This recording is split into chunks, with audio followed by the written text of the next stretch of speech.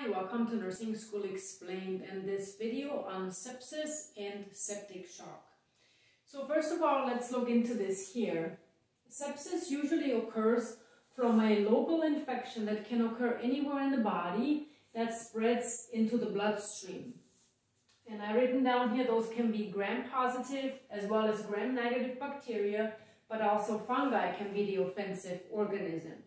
Most of the time, the source originates from either the respiratory or the urinary symptom. So this could be a common cough and cold that turns into a pneumonia that turns the patient septic, or maybe a UTI or a kidney infection that spreads from the urinary tract into the bloodstream.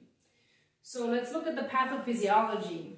Once the bacteria spread from the localized area into the bloodstream, the bacteria release toxins and that triggers an inflammatory response and recall from physiology that there are a lot of different inflammatory markers or inflammatory cells that come to the aid um, in the immune system.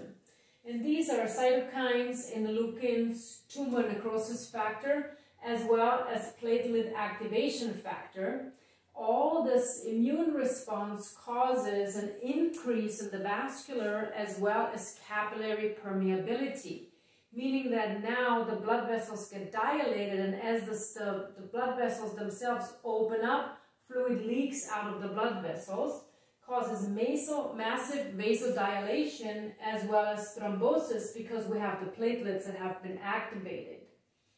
Did all these mechanisms cause further inflammatory response, and now we have more of the cytokines, interleukins, TNF, and platelet activation factor responding to the site. And now, because we have these platelets, coagulation occurs. So then, now we have the sluggish blood flow because the platelets are aggregating and the fluid is leaking out of the blood vessels, which leads to massive hypotension. When there is low blood pressure, certain organs are at risk or are not getting perfused, leading to tissue hypoxia. And then acidosis follows, and so patients who are septic many times will be in metabolic acidosis. So for signs and symptoms, basically we need to vigilantly and be very mindful of monitoring patients who are admitted with any type of infection Certainly patients who have certain risk factors or comorbidities, such as underlying lung issues, maybe cancer, diabetes, hypertension, who have all these underlying issues are at higher risk of developing sepsis from a, let's say, pneumonia or urinary tract infection. And so when we monitor them, we can identify early symptoms, and those would be an increase in heart rate because as the blood vessels dilate, the heart in response will increase the rate to ensure the perfusion to the cells and the tissues. And initially early, the blood pressure might be normal or it might be a little bit on the low side. The patient might show symptoms of decreased level of consciousness or start to be a little bit confused as the brain might not be being perfused as it would normally. And then the patient would maybe have warm or flushed skin with an elevated temperature because the body is trying to fight this offensive organism with raising the body temperature. And then as the vasodilation occurs and the blood, the fluid seeps out from the blood vessels from this capillary and vascular permeability, the urine output will decrease because the body is trying to hang on to every drop of fluid it has to stabilize the blood pressure. This sometimes is also referred to as warm sepsis, so with that warm flushed skin and a fever. However, if we don't recognize these early symptoms or if the patient does not come in uh, early enough, um, then they might present with these late signs and symptoms. So now again, the heart rate will be elevated because we're dealing with this massive fluid loss and the blood pressure will be really low. So the patient will be significantly hypotensive. And their level of consciousness now might be really depressed, ranging from lethargy all the way to the patient becoming unresponsive. And this now turns into cold sepsis, where the patient will have cool, pale skin because of this massive vasodilation. The limbs are not being perfused, um, and also as the kidneys are losing perfusion because we now can't maintain the blood pressure, the patient will turn anuric, meaning they won't produce urine at all, which should be a telltale sign that there's some issue with perfusion in the patient. And then there is an acronym called SOFA, which stands for Sequential Organ Failure Assessment. And these are basically diagnostic criteria that the experts have come up that will help us to identify patients at risk for sepsis or septic shock. And these are a temperature of greater than 100.9 or less than 97. So again, that warm or cold sepsis here. Heart rate greater than 90 respiratory rate greater than 22, systolic blood pressure greater or equal than 100. So these vital signs, if you really look at them, they are not significantly different from what normal vital signs would look like. If we're thinking a systolic blood pressure could be anywhere from 100 to 120 normal. Heart rate of 90 is usually normal. We like to have that upper limit of 100 and the respiratory rate of 22 is not significantly elevated. But as these pathophysiological mechanisms occur, the patient will start to show a trend in their vital signs. So we need to be very, very carefully monitoring them for these symptoms to develop. Then specifically here, this respiratory rate greater than 22, and what that relates to is now the patient is falling into this or developing metabolic acidosis. And if you recall, if the body becomes too acidotic, the respiratory and renal system work together. And by increasing the respiratory rate, the patient is trying to blow off the acids that are building up in the system by expelling CO2 through the respiratory tract because we're dealing with the um, acidosis on the metabolic side. And then other diagnostic criteria here are altered level of consciousness, like we saw here in both early and late symptoms, as well as an elevated blood sugar level in a patient who has no history of diabetes. And that again is because the stress response is kicking in, so the patient will releasing more cortisol, leading to elevated blood sugar levels. Diagnostic tests for a patient who is septic or maybe developing septic shock are complete blood count to look at those things and remember the platelets are part of that. CMP to check the patient's electrolytes as well as kidney and liver function. And certainly we need blood cultures times two because now we have this local infection that has spread into the bloodstream. So we want to collect that, two different blood samples, usually from the upper extremities, and collect the blood sample, hoping that as the blood is circulating through the body, we can catch the offending organism and then grow it out in a blood culture. And always remember that that has to be done before any antibiotics are given, if that is possible at all. Procalcitonin has been a marker that's been coming into favor, which can usually indicate an early sign of a bacterial infection if elevated. And then lactate levels will be elevated as the patient is moving into this acidosis stage where the body now is switching from aerobic to anaerobic metabolism and recall that lactate is the byproduct. Certainly we want to get a urinalysis and the urine culture because remember that urinary tract infections are many times the offending organism or the offending source. We want to do a chest x-ray to check for respiratory causes of the infection, as well as cultures of suspected origin. So this would be a patient who, for example, had a wound, a diabetic foot ulcer, a surgical wound, any kind of injury that now could be the localized cause of the systemic infection. PT-INR and APTT, so all the coagulation studies that we'll need to look at because the patient is at risk with that platelet activation factor and the thrombosis here. And then fibrin, which also plays a big role in the coagulation cascade. Now, treatment for sepsis are IV fluids, IV fluids, IV fluids.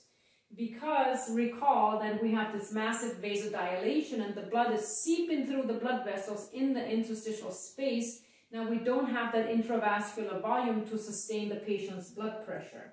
And so typically we give the patient isotonic fluids, normal saline or lactated Ringer's to maintain the mean arterial pressure greater than 65.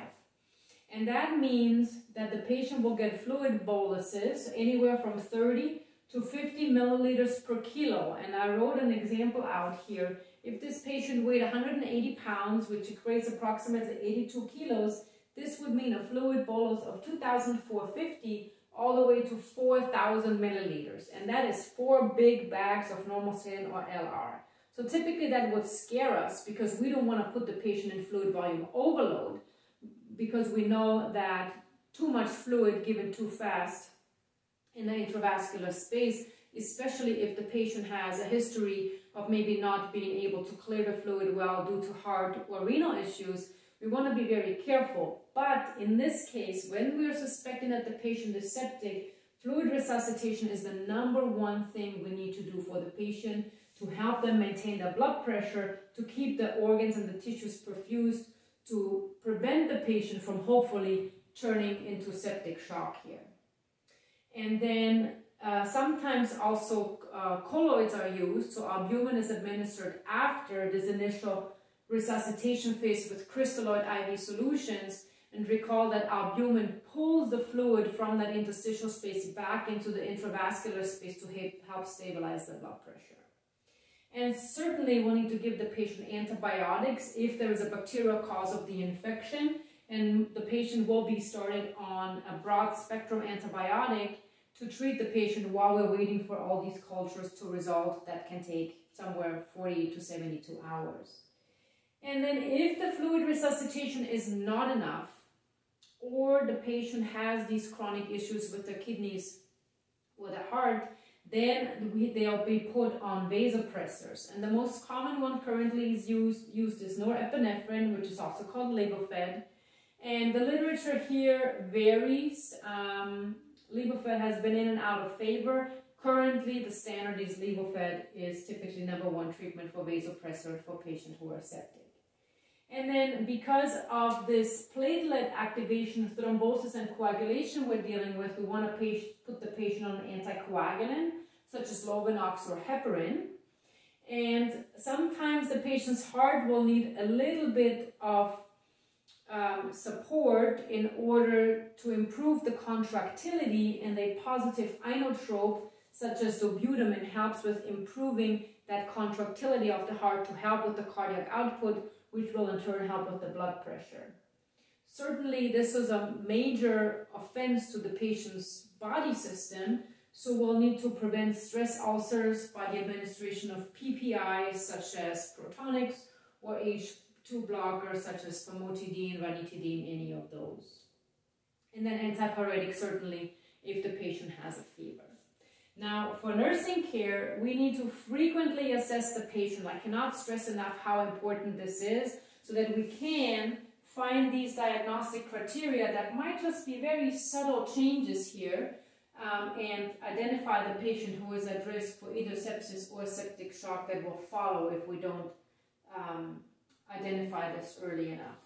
So frequent assessment of vital signs as well as their level of consciousness and then the peripheral pulses because recall, as the, the vessels dilate, the body will basically shunt fluids away from the non-important parts, such as the skin, and the peripheral pulses will decrease as the blood pressure decreases.